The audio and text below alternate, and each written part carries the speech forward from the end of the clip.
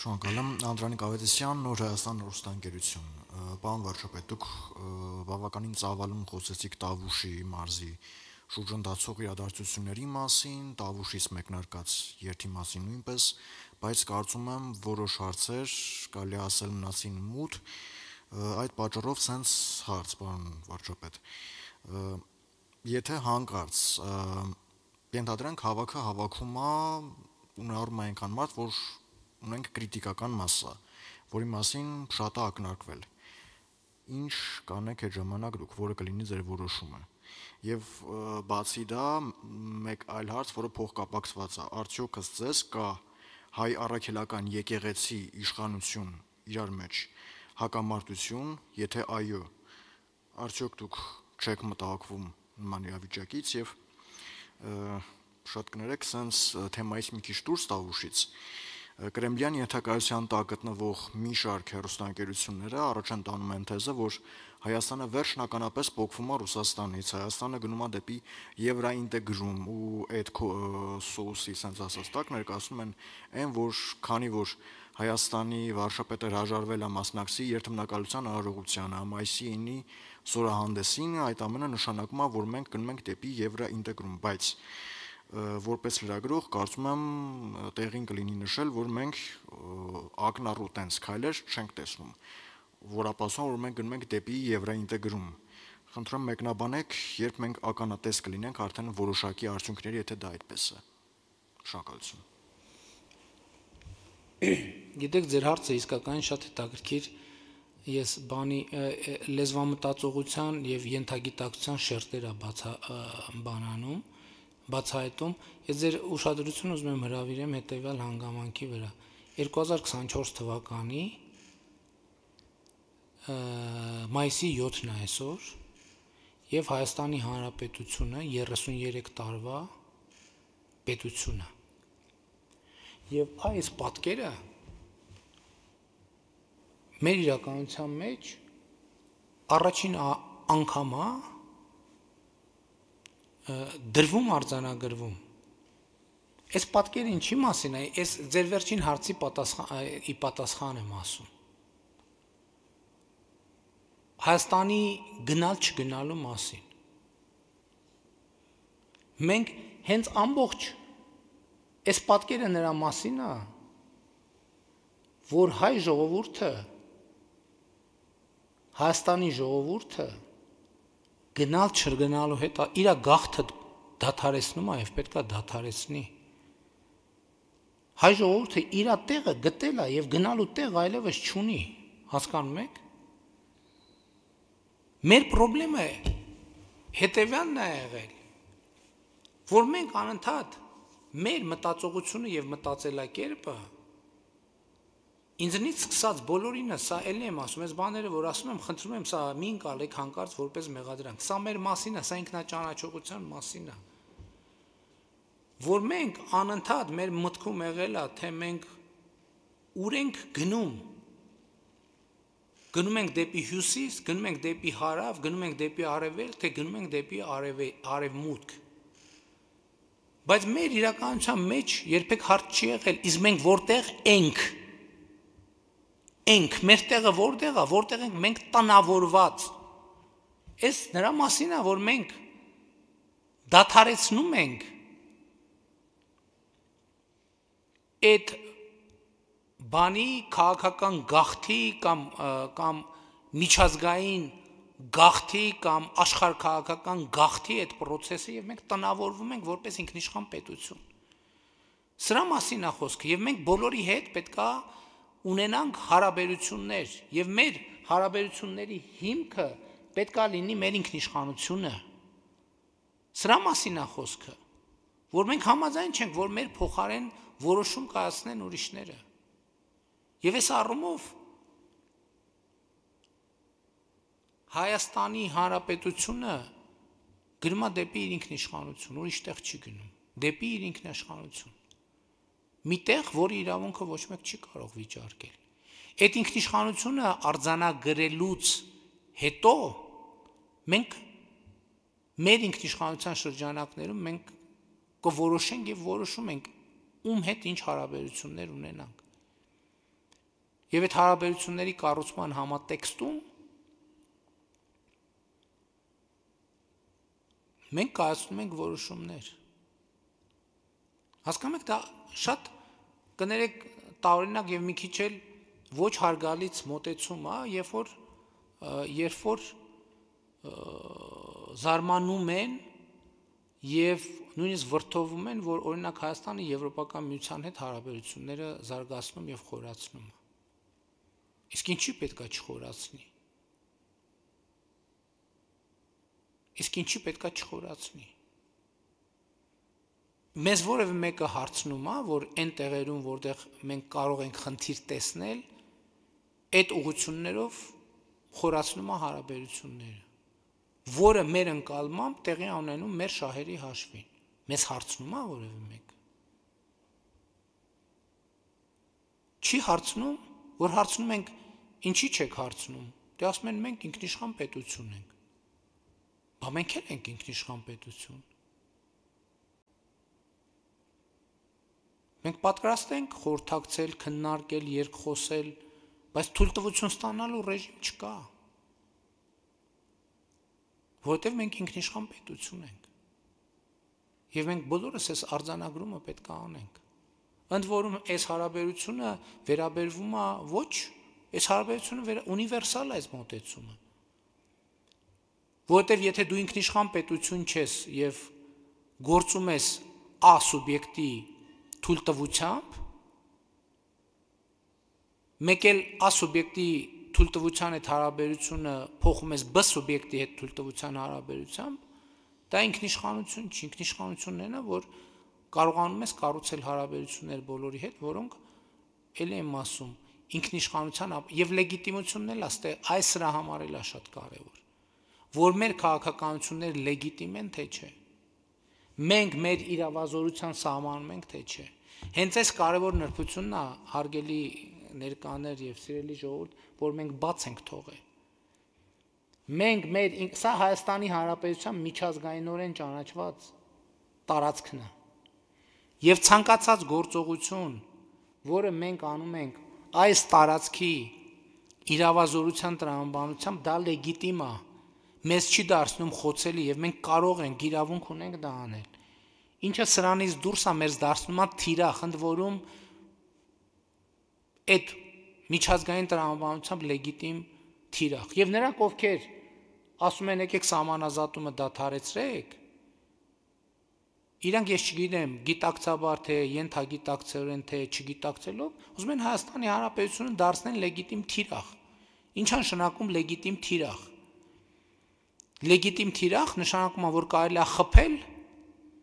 եւ դա համարել օրինական մենք սա թույլ չենք տալու եւ այս հենքի վրա լեգիտիմության հենքի վրա ստեղծելու ենք եւ այսօր արդեն ստեղծում ենք եւ արդեն իսկ ստեղծել ենք անվտանգության երաշխիքներ եւ այսպիսի երաշխիքներ ստեղծումը երկար տարիների վեր առաջին անգամա, որ մենք մեր ինքնիշխանության շրջանակներում, մեր ինքնիշխան որոշումների շրջանակում կարողանում ենք դա անել։ Ինչ վերաբերվում է եկեղեցի պետություն կառավարություն հակամարտությանը, մենք եկեղեցու հետ չենք հակամարտում։ Եկեղեցին մեզ հետ հակամարտում է թե չի հակամարտում, այդ ինքը պետքա պատասխանի այդ հարցին, չնայած էդ էլ ասեմ, եթե որոշ հոգևորականներ քաղաքական հայտ են ներկայացնում Այդ քաղաքական հայտի ներկայացումը նշանակում է, որ նրանք խոստովանում են հոգևոր առաջնորդություն իրականացնելու իրանց գործում իրանց ձախողումը կամ անկարողությունը։ Այս շատ կարևոր հանգամանք է։ Իմիջայլոց կարելի է ուրشادիր հետևել։ Այսօր կան Հայաստանում հոգևորականներ, ովքեր իրոք հոգևոր առաջնորդություն են իրականացնում։ Ինչն է հոգևոր առաջնորդությունը։ Հոգևոր առաջնորդությունը մարդկանց օգնելն է, աջակցելն է պայմանական ասած Աստծո հետ հարաբերություններում որ մարդը իր ներաշխարի հետ ինքը իր հետ ներդաշնակություն գտնի Եվ այսօր կան հոգևորականներ, որոնք հենց ճշգրիտ այդ գործունեությունն են. իրականացնում հոգևոր համայնքներ կան հոգևոր կյանքով են ապրում եւ ես ձեզ ուզում եմ ասել որ քաղաքական հայտ ներկայացնում են այն հոգևորականները ովքեր եթե ուսումնասիրեք կտեսնեք որ հոգևոր առաջնորդությունը ձախողել են Այսինքն մարդկանց Աստծո հետ կապելու առաքելությունը ձախողել են։ Եվ ցավոք սրտի այդ այս դիրքի եւ իրադրության մեջ են հայտնված շատ բարձրաստիճան բարձրաստիճան հոգեվորականներ, ոչ բոլորը, բայց շատերը։ Բարձրաստիճանների մեջ էլ կան բազմաթիվները, ովքեր իրոք հոգեվոր առաջնորդությամբ են զբաղված։ բայց վախենան, որ ամենաբարձր մակարդակում հենց հոգևոր առաջնորդությունն են ձախողել, որովհետև գոնե իմ փորձը կարող եմ ձեզ հետ կիսել, ասենք կարելի է շփվել, հաղորդակցություն ունենալ տասնյակ անգամներով եւ այդ տասնյակ անգամներից ոչ մի անգամ չլսել ոչ մի բան Աստվածաշնչի մասին, չլսել ոչ մի բան նույնիսկ նոր կտակարանի ու ավետարանի մասին, չլսել ոչ մի բան դավանաբանական խնդիրների մասին, այլ լսել բազմաթիվ բաներ ցեմենտի, բետոնի, ապրանքը տանելու, ներմուծելու, մաքսազերծելու, արտահանելու, փողը այստեղ դնելու, այնտեղից հանելու, այս երթուղային գիծը այս մի երթուղային գծով փոխարինելու, այս մի ավտոն այն մյուս ավտոյով փոխարինելու, այն ավտոյի բանը Mercedes-ի թազա վիպուսկը հին վիպուսկի հետ համեմատելու։ Եվ դու հասկանում ես այդ մարդիկ ես ես զարմացած չեմ, որ նրանք քաղաքական առաջնորդության, քաղաքական հայտ են ներկայացնում, որտեղ նրանք հոգև հոգևոր դաշտում բան չունեն անելու, հասկանում եք։ Այդ իրանցը չի։ Հիմա մարդիկ կան, որ ես հիմա լսում եմ, հասկանում եմ, որ իրանք հնարավոր Աստվածաշունչը սկզբից մինչև վերջ չեն կարդացել։ Իրանք նույնիսկ տերմինաբանության մեջ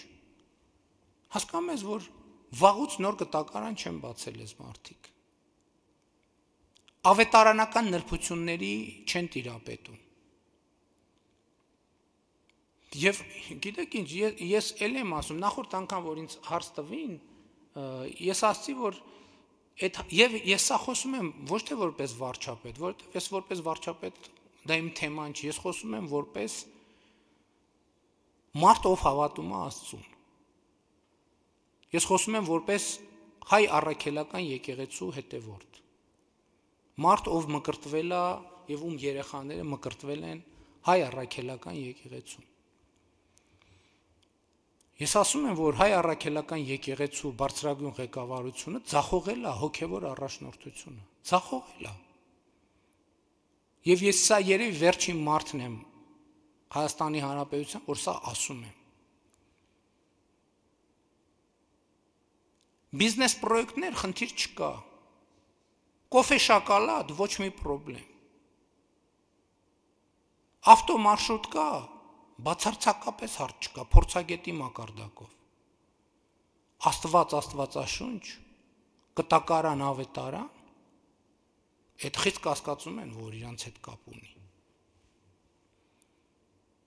Եվ դա երևում է ամենօրյա կյանքում, եւ դա իմ կարծիքով Հայաստանում արմատացած խոսույթ է։ Եվ բամարտիկ ինչ անեն։ Պետք է քաղաքական հայտ ներկայացնեն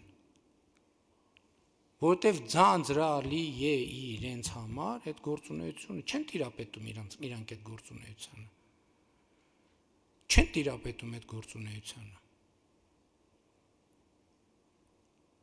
ուրիշ ժամանակներ են եղել այդ ժամանակներում այն բազմաթիվ քվոտաների մեջ իրանք էլ են քվոտա ունեցել հետաքրքիր է եղել Mercedes, Lexus, Bentley եւ այլն արտահանում, ներմուծում, ամեն մեկը իր քվոտան եղել է։ Հիմա ոչ մեկ չունի քվոտա, նշանակում է բոլորը ունեն քվոտա։ Իսկ ես արդեն տնտեսական մրցակցություն է։ Էս ամբողջ պատմությունը։ Եվ ուրիշ պատմություն եւ եւ երբ որ ես ասում եմ որ հասկանում ես որ մարդիկ բան չեն արել, չեն չեն էլ կարդում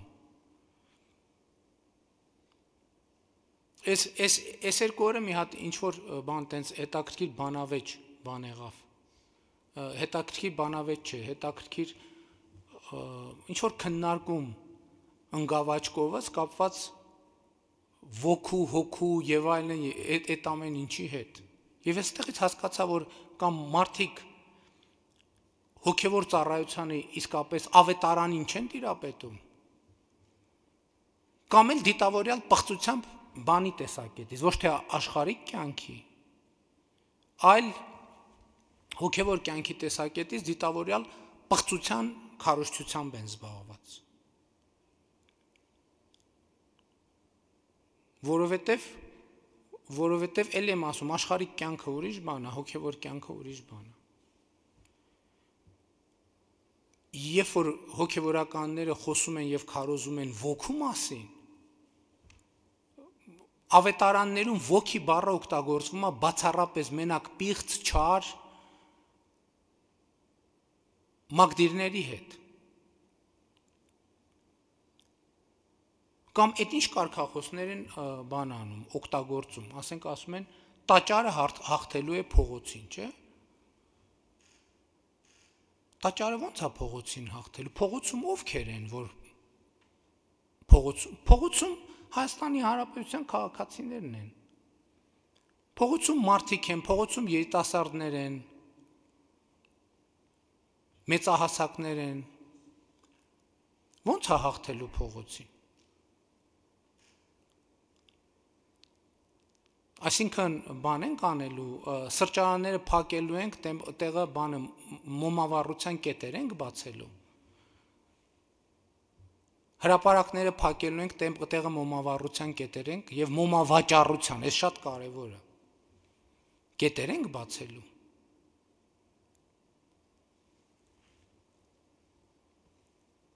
Եվ ելի ասում եմ, ձեր հարցին հետեւյալն է։ Ժողովրդի կամքը անկասելի է, ժողովրդի կամքը, ժողովրդի կամքը, ժողովրդի կամքը Ժողովրդի կամքը Հայաստանի Հանրապետությունում բարձրագույն իշխանություն է, ինչ ուզենա կանի, բայց ժողովրդի կամքը։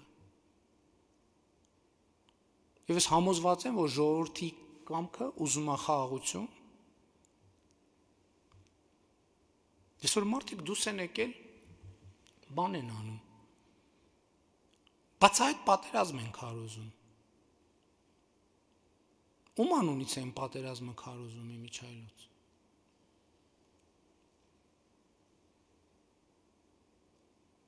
Եվ ի ժողովրդի կամքը անկասելի է։ Ես էստեղ եմ ժողովրդի կամքով եւ այստեղ չեմ լինի ժողովրդի կամքով, դա տասնյակ անգամներ եմ ասել, բայց ժողովրդի կամքով Այս ամբողջ պատմությունը նրա մասին է, որ 2021 թվին էլ էին ասում, չէ՞ ինչ կապ ունի ժողովրդի կամքը։ Իշխանությունը տուր մեզ։ Ասում կներեք, այդ իշխանությունը չի անտերա, որ տամ ձեզ։ Ես իշխանությունը կարող եմ տալ միայն ժողովրդի տիրոջը։ 2021 թվին ներողություն իշխանության տիրոջը։ Ես իշխանությունը կարող եմ տալ միայն իշխանության տիրոջը եւ իշխանությունը իշխանության տիրոջ ձեռքինա ամեն օր, ամեն օր, ամեն աստծո օր Հայաստանի Հանրապետությունում իշխանությունը իշխանության տիրոջ ձեռքին է, այսինքն ժողովրդի ձեռքին է։ 2021 թվին ժողովուրդը իրեն վերադարձրած կամ իր ձեռքի իշխանությունը կամ պատվիրակել Եվ ես իրականացնում եմ այդ պատվիրակումը. Հայաստանի Հանրապետության անկախությունը, ինքնիշխանությունը, խաղաղությունը ապահովելու։ Եթե ժողովուրդը որոշում է, որ ինքը պատերազմ է ուզում, ինքը այլ ուղղությամբ է գնում։ Ես կփորձեմ ժողովրդին ներկայացնել ամեն ինչ եւ այդ եմ անում։ Իմիջայլոց նրանք ովքեր ովքեր ուզում են ուրիշներին մեղադրեն պատերազմից վախենալու մեջ, մենք պատերազմի չվախենալն ենք ի ցույց դրել։ Բայց ելի եմ ասում, parzvեց, որ այն պատերազմի հետ առնչություն ունեցող մի մասը խնդիր ունի պատերազմը շատ թե քիչ նպաստավոր դարձնելու մյուս մասը ընդհակառակը խնդիր ուներ պատերազմը Հայաստանի ներսում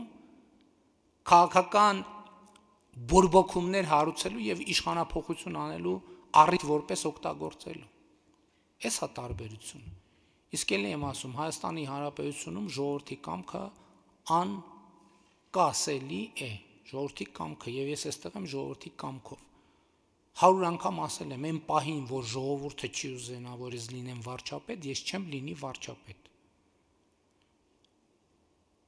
Բայց այդ կամքը պետք է լինի ժողովրդինը։ Եվ ոչ թե հակա ժողովրդինը։ Հասկանում եք, այս շատ էական տարբերություն է։ Հիմա էլ դուս են եկել ասում են, բան ձեզ ինչ նախկիններին ենք ուզում բերենք իշխանության։ Կներեք, բայց դուք ով եք, որ որևէ մեկին բերեք կամ չբերեք իշխանության։ Որևէ մեկին իշխանություն կարա բերի ժողովուրդը, միայն ժողովուրդը, բացառապես ժողովուրդը։ Որևէ մեկին իշխանությունից կարա զրկի ժողովուրդը, միայն ժողովուրդը, բացառապես ժողովուրդը։